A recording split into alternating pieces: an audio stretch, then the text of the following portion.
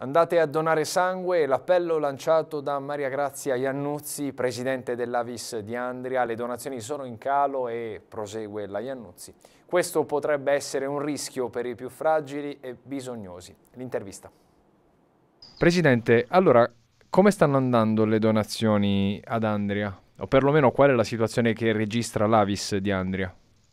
Eh, purtroppo la situazione è molto critica, il centro trasfusionale è praticamente quasi vuoto e questo è molto molto preoccupante perché in un momento già difficile non dobbiamo dimenticare che ci sono delle persone che hanno estremo bisogno di sangue, ci sono persone che vivono solo grazie alle trasfusioni e quindi dobbiamo cercare di eh, non aggiungere diciamo problemi ad altri problemi. Noi dobbiamo stare tutti a casa. Io sono a casa in questo momento, esco solo se è strettamente necessario, però non ci dobbiamo dimenticare di chi ha bisogno di noi. Andare a donare è estremamente sicuro, eh, viene fatto un triage prima, ovviamente si può andare solo se si è nelle condizioni di poter donare, quindi non avere la febbre oltre i 37,5, non avere sintomi che lasciano pensare che si possa avere o possa essere positivi al coronavirus, ma eh, al di là di questo e al di là delle normali accortezze di quando si va a donare il sangue, la donazione è estremamente sicura.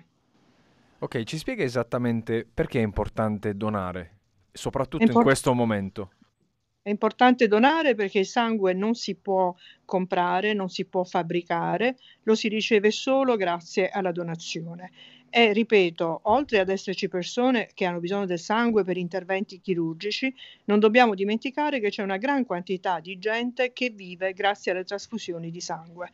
Quindi in questo momento lo è ancora di più non per il coronavirus, perché il coronavirus non è un tipo di malattia che richiede eh, sangue, ma perché in questo momento purtroppo c'è molta gente in meno che può donare o che vuole donare e quindi la carenza del sangue è davvero preoccupante.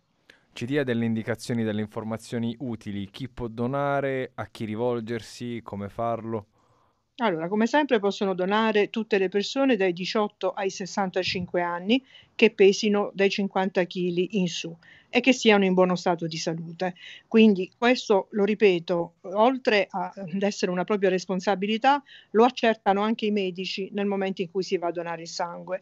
Ricordiamoci sempre anche che un ottimo modo per controllare se stessi avrete tutte le analisi a casa, analisi che volendole fare sarebbero anche costose e, e, quindi è assolutamente importante e indispensabile in questo momento. Io faccio questo appello anche ai ragazzi, i ragazzi che in questo momento sono a casa, non vanno a scuola, non sono all'università, quindi hanno sicuramente un po' di tempo in più per poterlo fare. Non vi dimenticate di chi ha già bisogno di voi.